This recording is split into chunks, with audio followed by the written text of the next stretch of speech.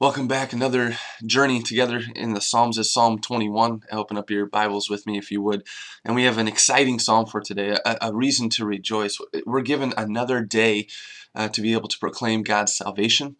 Uh, we are given another day to proclaim God's victory over the uh, sin, death, and the devil. And we have a uh, comprised psalm here. We have a well put together psalm that is definitely joined together with 18 and 20, talking about the king and uh, his glories here on earth, but the king that is in leadership uh, but what that means, what his hope is, or frankly, what his trust is in. It's definitely a uh, walking from Psalm 20. So if you want to couple those together, go ahead and read those together again uh, today, Psalm 20 and Psalm 21, as you see the king working, and it always comes from God, as we talked about uh, in Psalm 20 uh, just a day ago. But Psalm 21 really gets to speak about an introduction and then it has a conclusion. It's kind of like the story form, form psalm. It's a liturgical psalm uh, where they would worship in and amongst it, where it says introduction, conclusion, and it comes to a climax in verse 7. But it talks about the blessed way of the king. And what is the blessed way as it makes its way up to that kind of climax and then lives in that climax as the victory of the king through the blessings, or frankly, through the chesed, the unfailing love of God. So let's read together Psalm 21. From the director of music, a psalm of David, Psalm 21. O Lord, the king rejoices in your strength. How great is his joy in the victories you give. You have granted him the desire of his heart and have not withheld the request of his lips.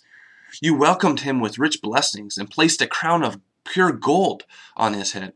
He asked you for life, and you gave it to him, length of days forever and ever.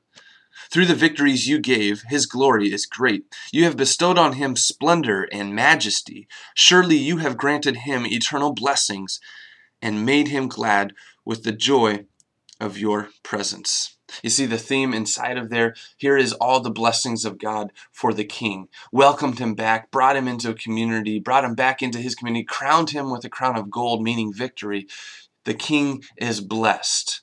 And why? Here's the climax, verse 7. For the king trusts in the Lord. Through the unfailing of the Most High, he will not be shaken. Your hand will lay hold on all your enemies. Your right hand will seize your foes. At the time of your appearing, you will make them like a fiery furnace. In his wrath, the Lord will swallow them up, and his fire will consume them. You will destroy their descendants from the earth, their posterity from mankind. Though they plot evil against you and devise wicked schemes, they cannot succeed.